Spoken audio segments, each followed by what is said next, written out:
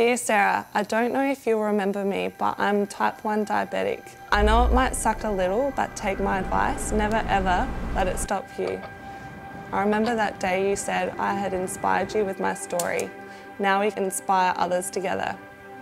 Having a professional netballer have diabetes is so exciting for me. It proves no matter what life throws at you, you can always get over it or not let it stop you. Don't give up and good luck at the World Cup. Love, Emily.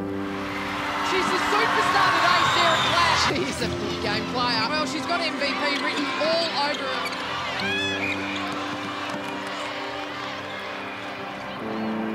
We've kind of made our own family in Sydney because not many of us are from Sydney, so it makes the transition a lot easier, I think. We're gonna Yeah. train together, live together, each other's Yeah. play together. It's. Family, best friends. So too bad if we don't get along.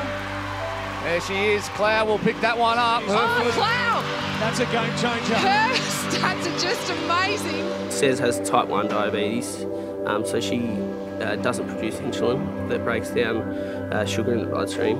For instance, when she plays netball, her levels actually rise, and then when she finishes, it can sort of dump off the back of that. So the type of exercise affects it, the stress affects it, it can all have an impact on, on what she does. Diabetes is a 24-7 job. So I wake up, do my fasting glucose, have breakfast, and inject myself. This is pretty much my pancreas. Um, I have to check my levels maybe yeah, six or more times a day. So I put it into the machine, prick myself, get a bit of blood, and then it gives me a reading. Hopefully it's not too bad. Yeah, so it's a little bit high, so then I just put it in my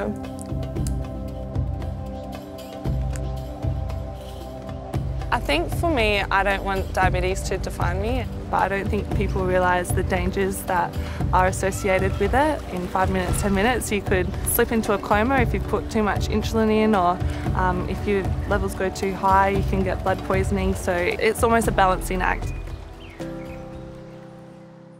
2019 was a huge turning point for me. I've never really believed in myself. I've always been quite self-critical and negative. So um, last year was, um, I guess, a year that I really grew into myself and that's credit to the coaches because they really instilled that belief in me and I started to believe it myself.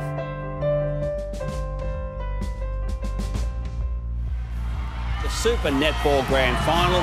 The Swifts are trying to break Sunshine Coast Lightning's winning streak.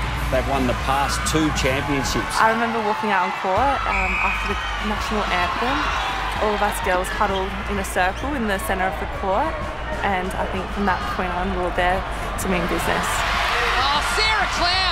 She's now scaring the living daylights out of anyone who's outside of the circle.